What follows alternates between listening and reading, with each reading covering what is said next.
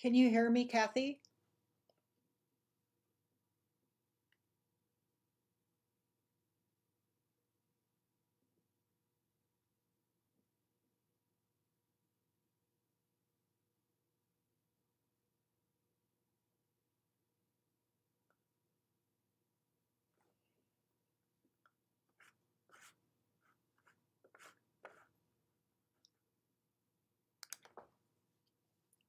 Hi, everybody.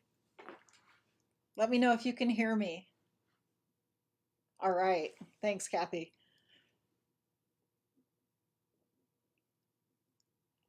We'll get started here in a second. Hey, everybody. Uh, thanks for telling me where you're from.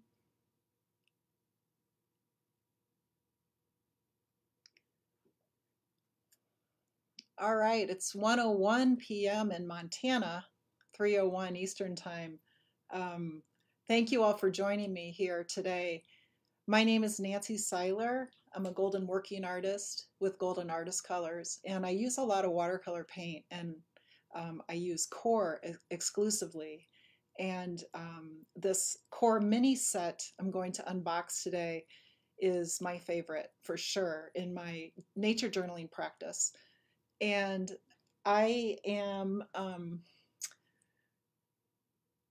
interested in watercolor quite a bit and also um, plants. I'm especially interested in plants. I'm a classical botanical illustrator, and I'm just fascinated by going out and seeing the different um, plants in the different states, such as bud and leafing out, blooming, and going to seed. So I tend to do a lot of nature journaling with plants, and I'll show you some examples in my nature journal about that.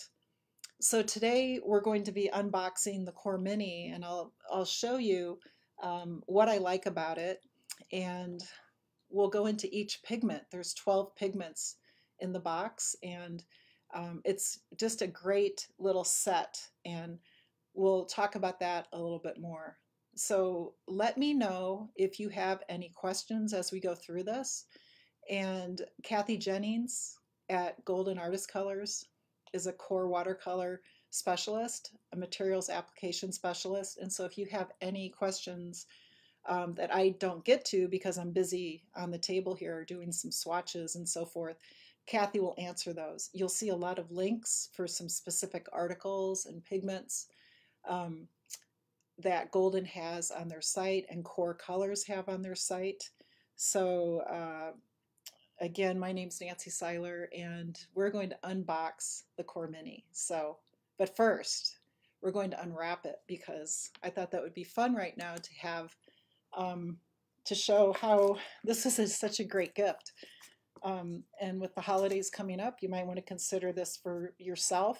Give yourself the gift, wrap it up like this, or give it to a friend. So, um, again, my name's Nancy Seiler. Here's my website, Here's the QoR Colors website if you want to get on there and take a look at some of the videos and, and um, pigments and so forth. And then if you have questions afterwards, you can always email help at goldenpaints.com.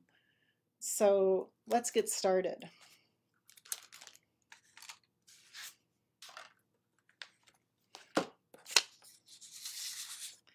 All right, so I thought it'd be fun, like I said, to wrap this up. So I'm going to just unwrap it and unbox it. Found this fun ribbon out in my studio.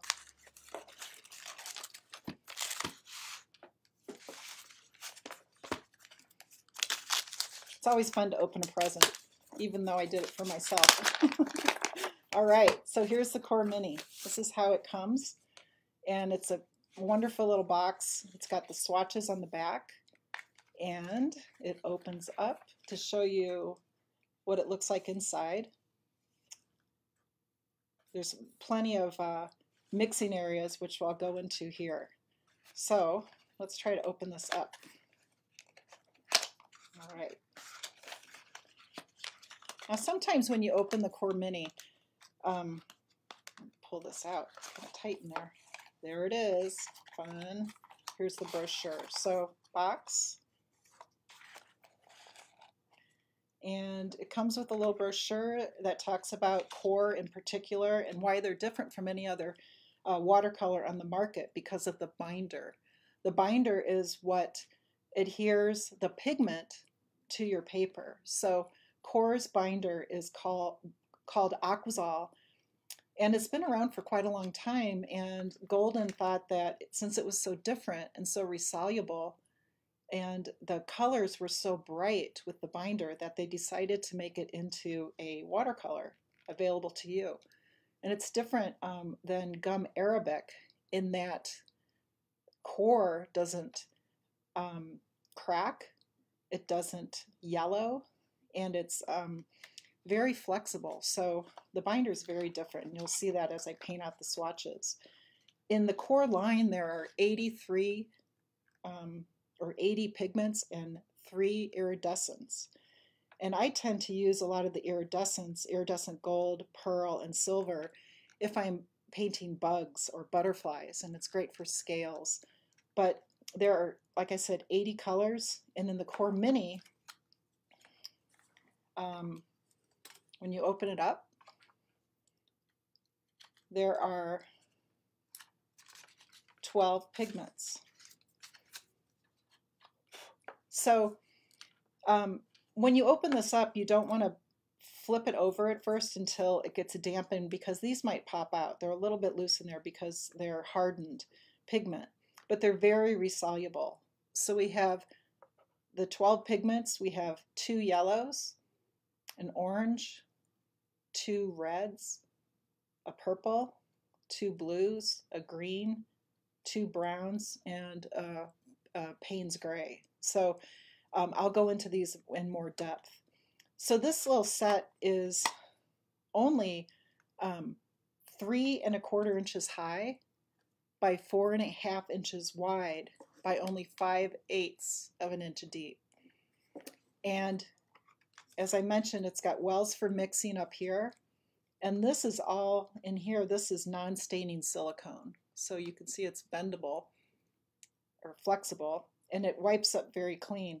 Here's a palette that I've been using for a few years and you can see that it cleans up really well and the pigment has settled into some of the areas here so you can see the letters on here a lot differently A through um, L A B C D E F G H I J K L and that um, um, correlates to this little mixing swatch where you can actually take each of these paints and paint out a swatch sheet so you can see the pigment a lot easier than in the tin.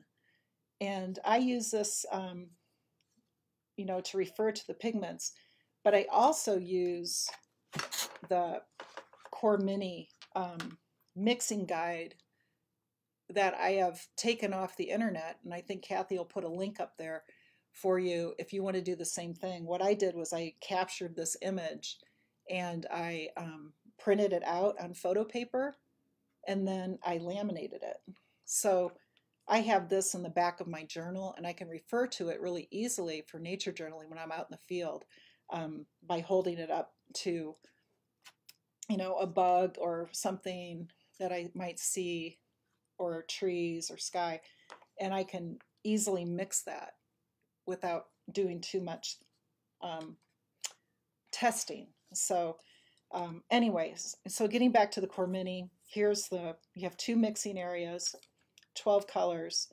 It comes also with a little um, piece of non-stick parchment kind of paper where um, I tend to leave this in here so that if I put, if I carry my swatch around in this, it won't stick to the paint. So you can decide to keep that in here or not. Um, let's see what else. It's got half pans, so there are 12 half pans in here, and they're refillable. So if you start using this, this up, like I'm starting to use up a lot of my ultramarine blue right here, can't really see that that well, but for instance, here is the QoR um, nickel azo yellow in an 11 mil tube that you can buy um, separately if you use up your colors in here and um, easily fill these tins back up, these half pans back up with this paint. So you won't need to buy a new set if you use this up. You just can refill them. So that's wonderful. Um, I wanted to mention too, just as an aside, that uh, Golden offers this gripper, G-R, G-R-I-P-R, I believe. And uh, it's really great for getting the lids off of all of all of your different tubes of paint. It even has a really small um, version down here at the end that you can get those really tiny lids off your paint. So something uh, to think about for not only your acrylics if you use acrylics, but those little watercolor tubes. All right, um, so let's paint these out. Let's see if we have any other questions. Um, I'm going to take a look over here. All right. Great. Okay, looks like Kathy's answering all those. So I'm going to go ahead and paint out some of these um, swatches.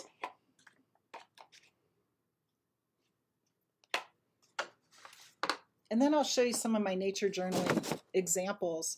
Um, again, getting back to the gift idea for nature journaling, all I use in nature journaling are a, a flat brush, three quarter inch flat, and a eight round. I use the eight round a lot, and this is a Princeton Velvet Touch brush. This one is a Princeton Elite three quarter inch wash brush. So a couple different brushes, and then a mechanical pencil, really simple. And I also use a Micron 01 um, permanent non-bleeding ink for my my close work.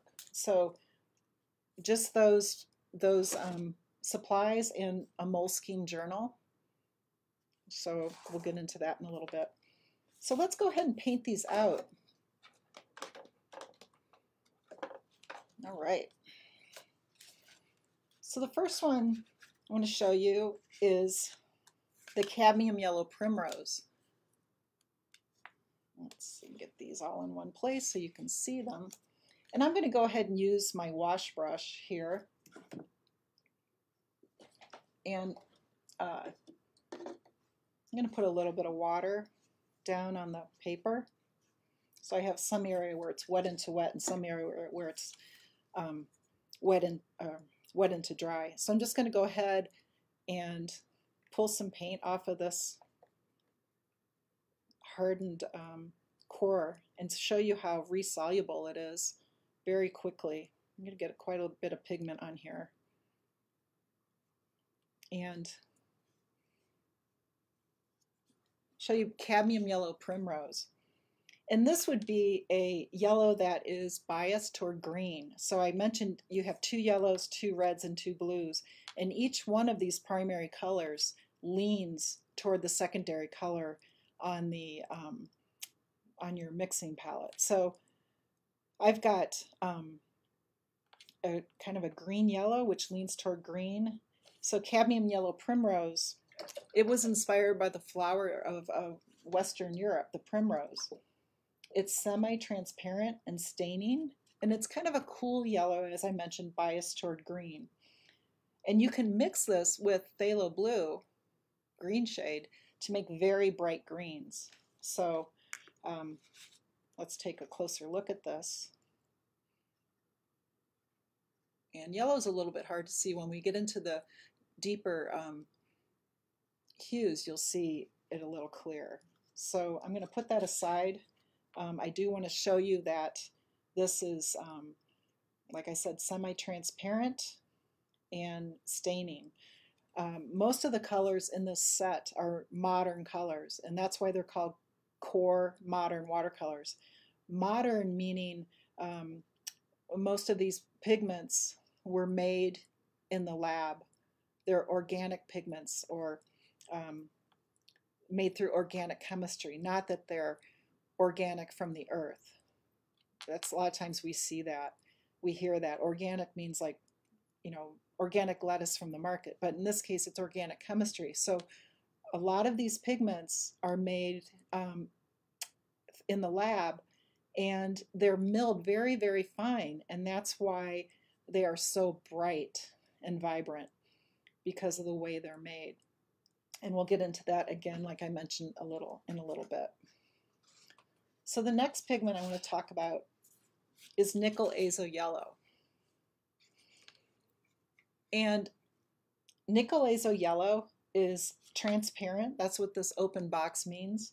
And you'll see that on your um, uh, your little uh, brochure that Golden has. Um, you can order a brochure like this if you need to with all the pigments and all the um,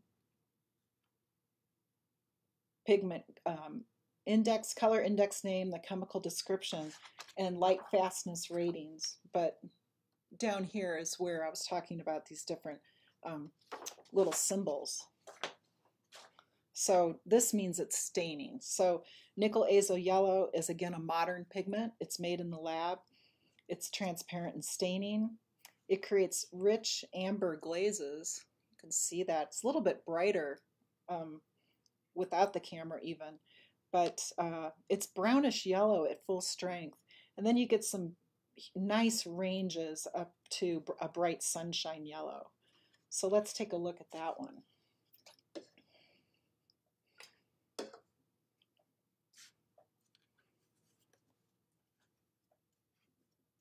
And I'm painting on a Fabriano 140 pound cold press paper. So I'm gonna get a little water and you can really see how that is so resoluble right away. I'll load up my brush with pigment and you can see how rich that is.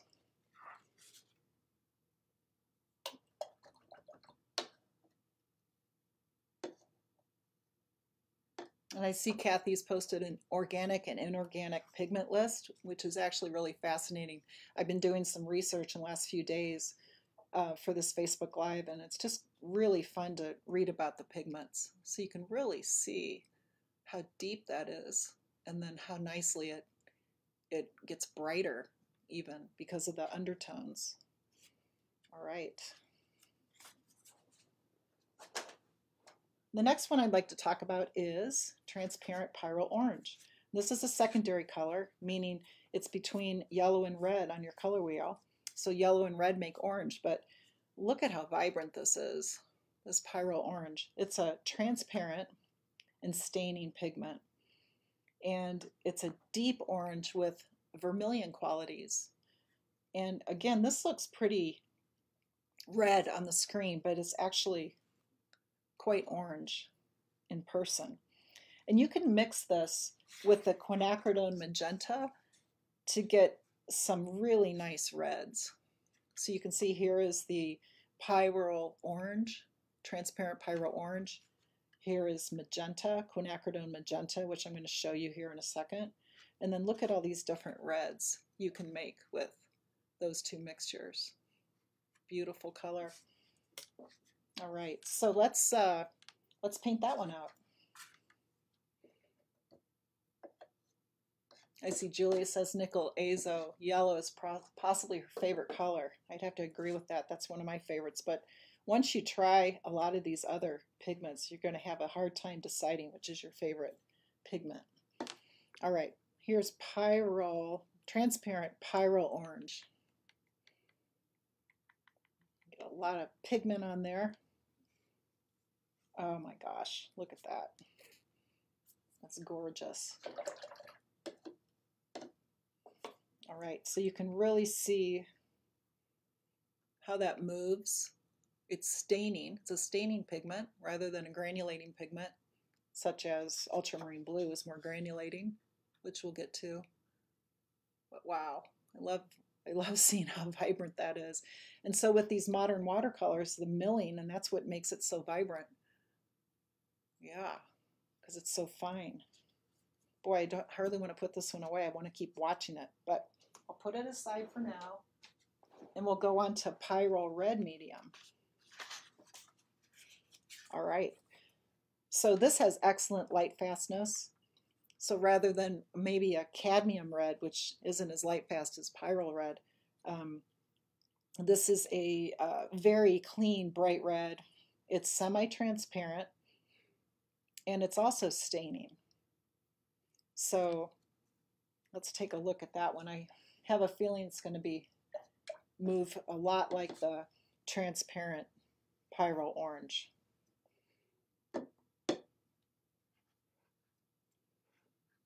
All right. And again, you can see how resoluble these are so quickly. Okay. Beautiful, huh? Man. And again, you can, um, this is a red that is biased toward orange. So it's a more of a, a warmer red than what you're going to see with uh, the um, quinacridone magenta coming up. So wow, take a look at that. And we might take a look at these in a little bit and see what they've done moving. The next one's quinacridone magenta, and again, this is the one I mentioned that you could mix with the Pyrrole or the transparent Pyrrole orange to get some beautiful reds. So you can see that painted out right here. The quinacridone magenta um, is very transparent. You can see it's transparent and very staining. Staining. So again, a, a beautiful organic pigment, synthetic, made from quinacridone in the lab. So let's paint this one out. see if you have any more questions. All right, so here is oh, quinacridone magenta. Such a beautiful bright color.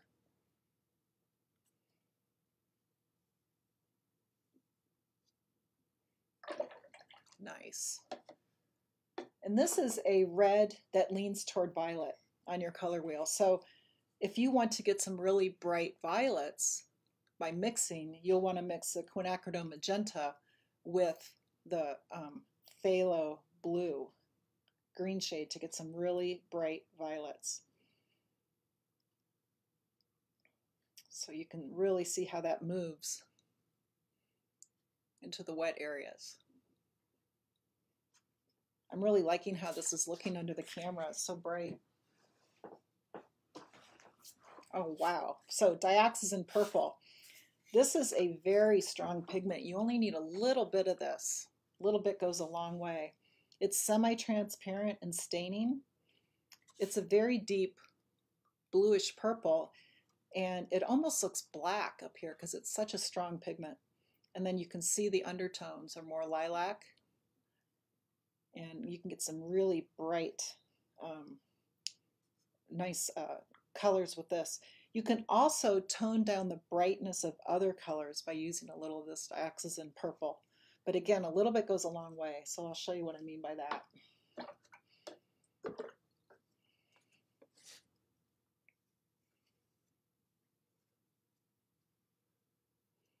Okay.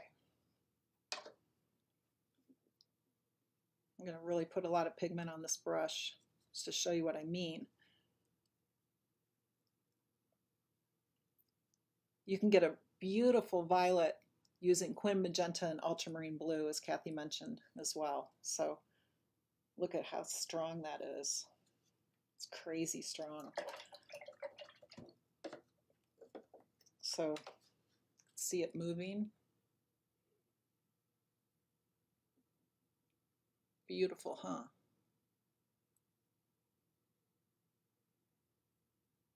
And I'll come back to these as well. Okay, ultramarine blue. This is a pretty common color. Most of you have heard about, I'm sure. And this is a um, granulating color pigment. You can see in this swatch, hopefully, how it granulates, which means the pigment sort of um, washes out of the binder a little bit so you can see a um, granulation here, which is quite different from the phthalo blue green shade, which is coming up. You can see the difference. So ultramarine blue was originally made from lapis lazuli, which is a metaphor, metamorphic rock. And um, it's from the uh, Latin ultramarinus, which means beyond the sea. And that's because it was imported from Europe and Afghanistan. Imp sorry, imported to Europe from Afghanistan. So lapis lazuli was found in Afghanistan. And um, the synthetic ultramarine pigment was invented in 1826 and became really popular in the 1830s. So this is a, again, a modern pigment. Um, Kathy, maybe you can put the mixture on there for me. We were, Kathy and I were talking a lot about um, organic and inorganic pigments. And a lot of these pigments I'm showing you, a few of them, are actually a mixture of um, organic and inorganic pigments. So um, to make them a modern pigment, which means made in the lab or synthetically. And you can correct me on that if I'm not explaining that exactly right, Kathy. It gets a little complicated when you start really learning about pigments. All right, got a lot of ultramarine on, or a lot of water on here so I can pull up a lot of ultramarine. Now ultramarine, um, it's not as strong of a pigment as dioxazine purple or the pyrroles or even the quinacridone magenta. So I tend to really load my brush in the, with this to show you a comparison. Um, but let's take a look at this. You can see it's not as strong but it's a beautiful um, deep blue.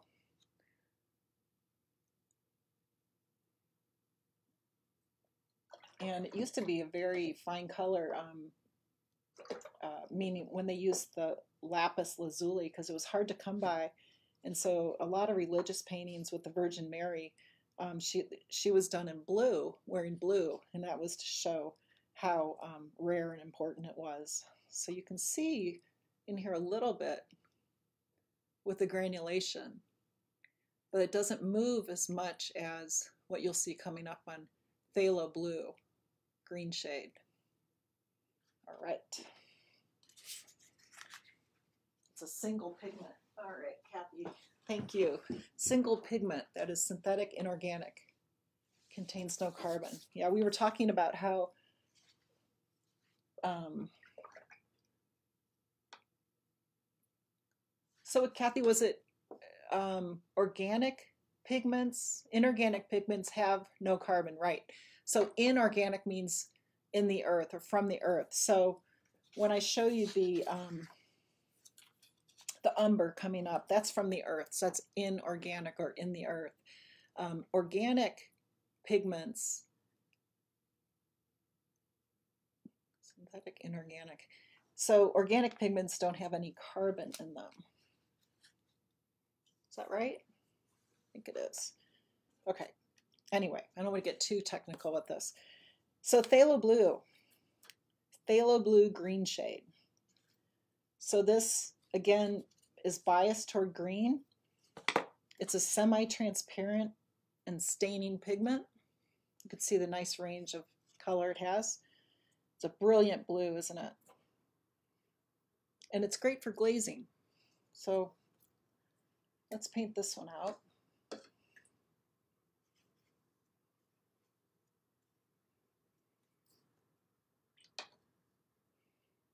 And this is, again, much stronger pigment, higher tinter than the ultramarine blue next door.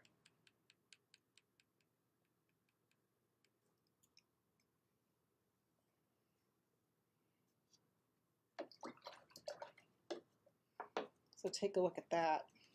You can see that moving. It's very staining, very strong pigment. Thanks, Kathy, for clarifying that. If you want to get into pigments, there's some good um, books out there. Um, lots of information on handprint.com too that Kathy and I were talking about yesterday So really want to get into understanding pigment. Take a look at some of those links. Now, sap green. All right, so this is an interesting color. Um, this was traditionally made from buckthorn berries, and it is a uh, transparent and staining pigment. And it's now made with a, a mixture of synthetic pigments. There's a little bit of phthalo in there too, as well as some nickel azo and um, iron oxide, I believe. So this is again made in the lab. It's much, um, it's not, its light fastness is one, which means it's the highest light fastness. If you were to use um, historic sap green, it's very fugitive, so you wouldn't want to actually use the pigment made from the buckthorn berries because it would fade. So this is a much um, better light fastness. So let's take a look at this one. So this is a secondary color that's in your set between um, the blues and the yellows. This would be your secondary. And I mix a lot of greens, but this is a nice place to start um, with a green. If you need to do some leaves, you can actually uh, tone it down or brighten it up. So let's load up the brush with some sap green. Wow, nice.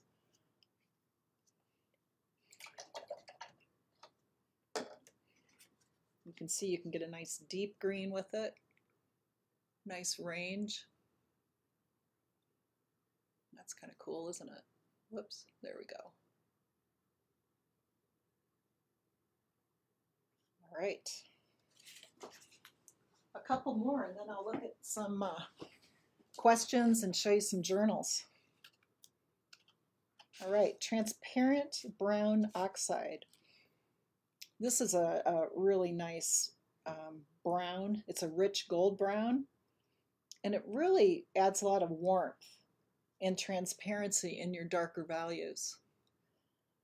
So it's a transparent and staining pigment. It's also granulating. So hopefully you can see that. Yeah, you can see a little bit of the granulation there. And it's a, it's a clean and strong mixer without dulling your mixes. And if you put a wash down, it's kind of peachy looking. You can see that down here. So let's paint that one out.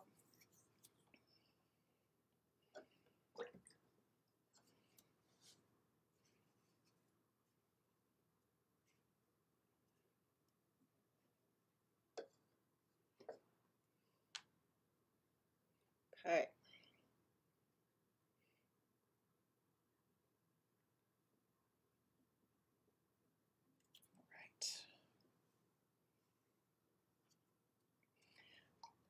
So someone asked here, Diane, isn't it similar to burnt sienna?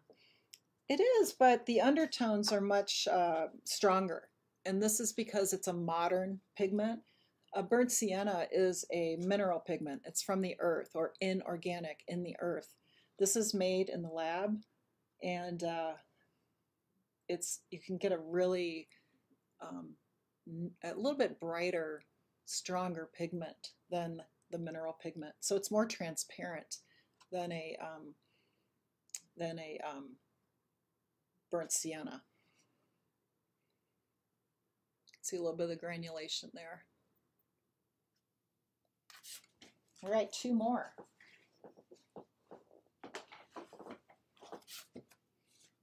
Burnt umber, natural. And this is kind of like the burnt sienna in that it is from the earth and it originally came from Umbria in Italy. That's why it's called umber. So you can see that it is um, um, uh, semi-opaque, uh, semi-staining, and granulating. So there's a granulation on there. See that pretty well on this burnt umber. So uh, again, it's a little bit more um, opaque. So when you heat raw umber it becomes burnt umber. So this is basically raw umber that's been heated up and it, be, it becomes warmer looking. And uh, this pigment, burnt umber, was used by Rembrandt and Caravaggio, um, mostly during the Baroque period, I believe. And um, Vermeer also used umber for shadows on whitewashed walls.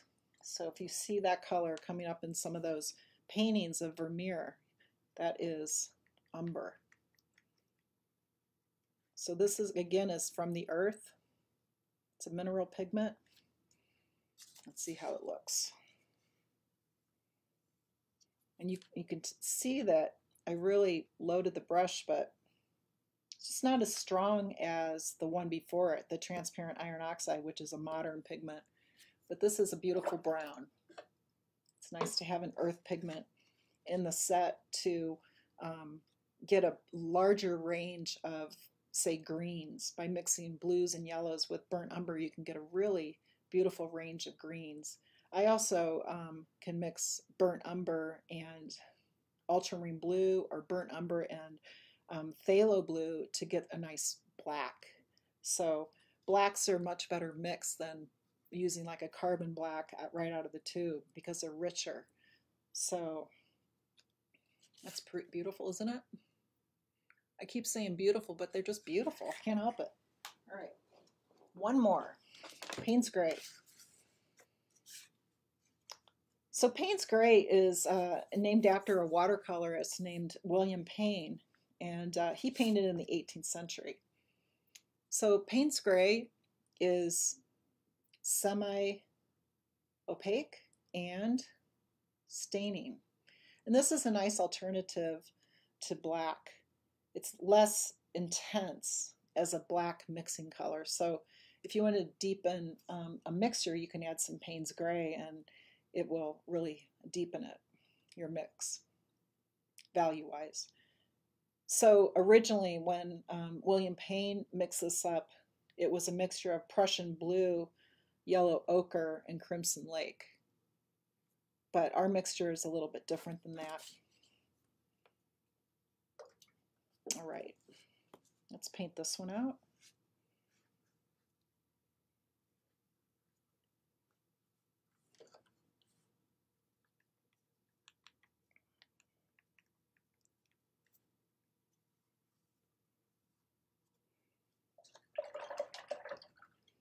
All right.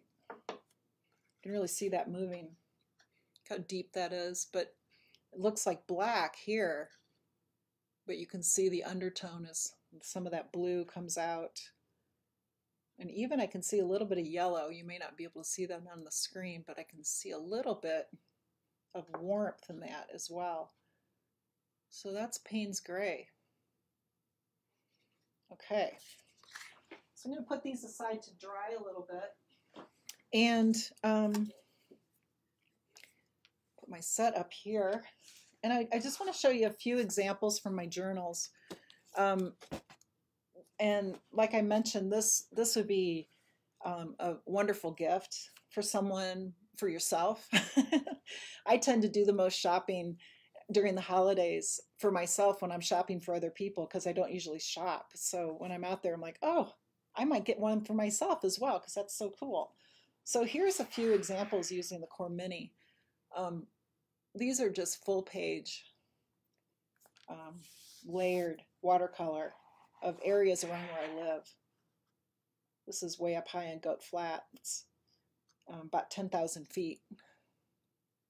Some nice low vegetation. So sometimes I'll take a little um, template and do a little landscape. It's not as overwhelming as doing a whole page. So you can take a business card even and draw around the business card and do a little watercolor quickly. And again, I use the micron point, or sorry, it's an 01 micron with a fine tip to do some writing in here. And then I've got a little praying mantis I found out there. Here's a vertical landscape can turn the page and do something more vertical, more writing. These are what I had out when we started, some bugs. So, you know, in the winter, uh, we're getting lots of snow here in Montana, and um, and uh, I tend to go to the Montana Natural History Center, you know, half a mile away, and I can look at their bug collections and go and draw and uh, get out of the cold. So that's one way you can keep nature journaling during inclement weather. This is done in California. I uh, I go down to San Diego usually and do uh, lecture demos for Golden.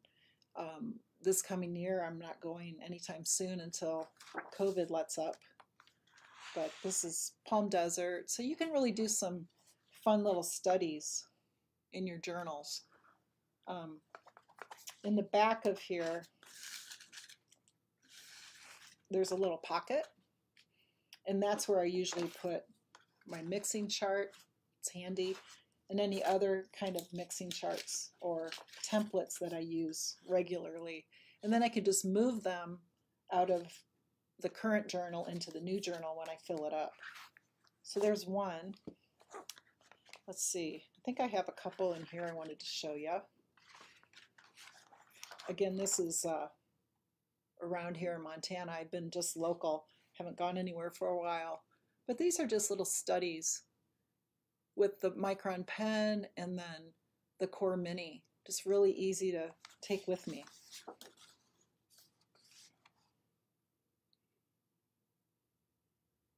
can see a nice layered colors there. And you can do also do a, a large landscape across here. This is one I just did. Haven't really finished it yet, but just some um, fun little pine cones and rose hips, rose leaves, other shrubs, and and uh, Engelmann spruce and Doug fir pine cones. Then I'm going to go back in. It's kind of fun to get a field journal out and go back in and add information about what you've seen. And then one more. This is, uh, I took this down the Grand Canyon, down the Colorado in 2018 and was able to do a few um, sketches. You can really see the granulation, and the ultramarine there. And then a couple other sketches with the QoR Mini. See how nicely it blends. All right. So I'm going to switch back um, to the other camera here. And, um, oh, so the, which brand of journal do I use? I use a um, Moleskine. So let me switch back. Hi, everybody. my daughter cut my hair the other day and I look like a Dutch boy. So um, anyway, let's see. What brand of journal do I use? Um, I use a Moleskine journal. So I just, I put a sticker on here from my trip, but this is a wonderful little journal. It's got, um, I'll show you the pages in here. It's, you want to, when you're painting, you want to have a stiff paper for painting. You don't want anything too thin like a drawing journal because it's going to buckle. That water is going to, water media is going to buckle your page. So you want to make sure you have this is a watercolor notebook made by Moleskine.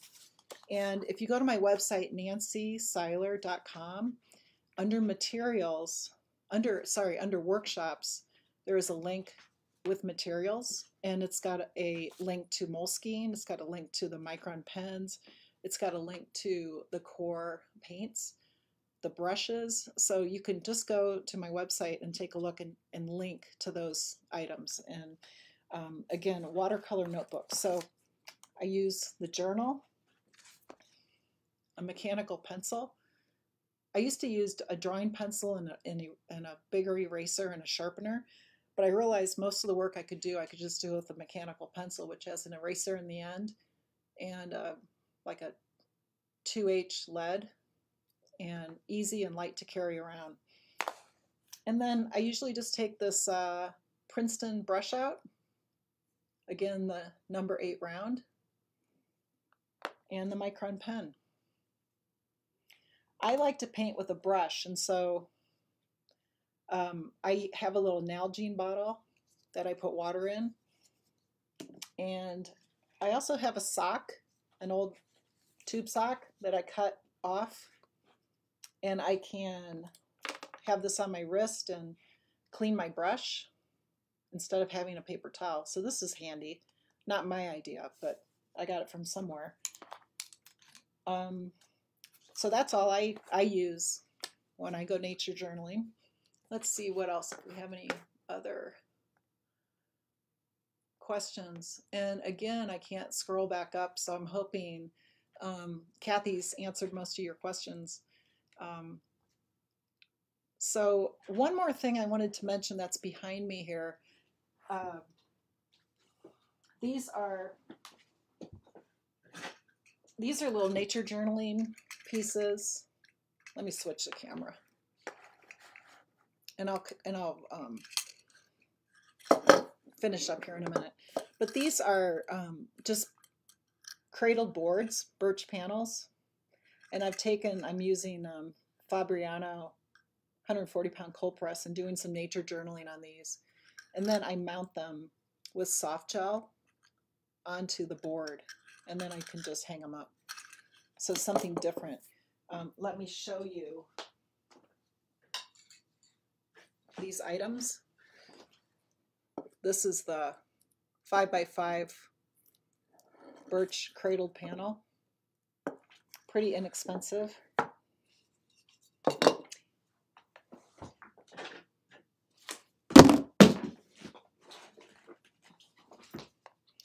This is the soft gel gloss that I use to adhere the paper to the board. And always use a acrylic brush. Don't use your good watercolor brushes. This is just a real basic, um, it's a Princeton brush company, but um, nothing fancy. You don't want to use your good watercolor brushes with acrylics. And then what I do is I mount that onto the board with soft gel and then varnish it. I varnish my my art with golden gloss and satin archival spray varnish. You do not want to use a brush varnish on your watercolors because it will smear them. So I usually use two coats of gloss varnish, letting it dry in between each coat, and then two coats of satin varnish.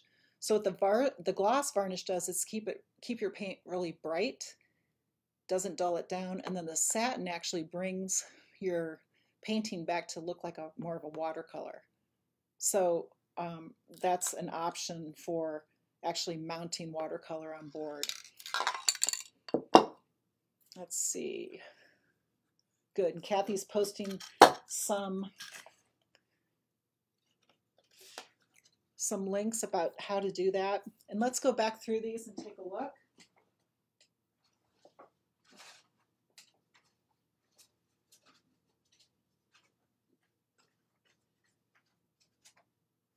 All right. Haha, this is kind of fun. Oops. All right, so here's um, cadmium yellow primrose. No, the spray varnish won't hurt the watercolor paint or make it run. No. Test it out though. Always test it out first. Oh, the other thing I wanted to mention about QoR was that you can mix QoR watercolors in with the watercolors you already own. There's no problem in doing that. So um, definitely can mix them together. There's your transparent pyro Orange. Look at that. Wow, that's cool. Pyro Red Medium.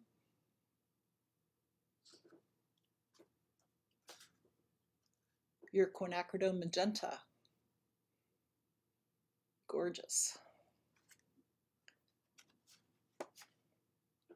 Dioxazine purple. Look at that beautiful, how that ran and stained. Okay, ultramarine blue, that's your granulating pigment. You can really see the granulation in here. And those granulations are just beautiful. Some, some artists really like that granulating. Phthalo blue green shade. This is again a staining pigment, very transparent or semi-transparent. Oh wow, look at the sap green. There's a lot of granulation in this one too. Interesting. God, my I have a dog that's shedding like crazy right now, so I apologize for the black dog hair. Okay, and there's your transparent brown oxide. Burnt umber.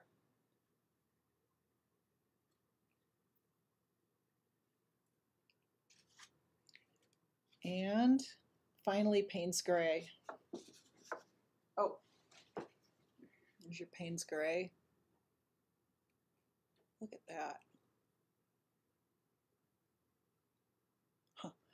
And then uh, actually finally Nickel Azo Yellow.